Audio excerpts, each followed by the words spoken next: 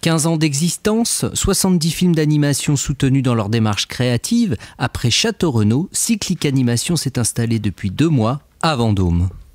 En ce moment, quatre équipes en résidence. Immersion dans les studios flambant neuf.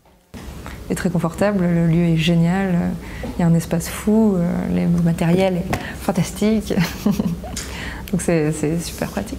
Il y a d'autres types de films qui sont complètement différents et qui sont aussi très enrichissants à, côtoyer. Euh, il y a des films en papier découpé, alors que moi tout est complètement numérique. Eux, ils sont vraiment abidouillés des petits bouts de carton et tout. C'est super aussi de voir ça.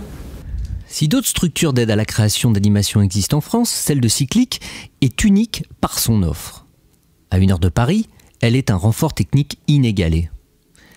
Elle s'adresse au premier film pour les jeunes talents de demain, ou à des recherches créatives pour les réalisateurs chevronnés. Et euh, bah, ça crée euh, une économie, une dynamique, et puis ça crée aussi une, richesse artistique, une richesse créative qui va après aussi se retrouver dans la série, dans le long métrage, et qui va aussi nourrir la partie plus, euh, plus industrielle, on va dire, de, de, l'animation.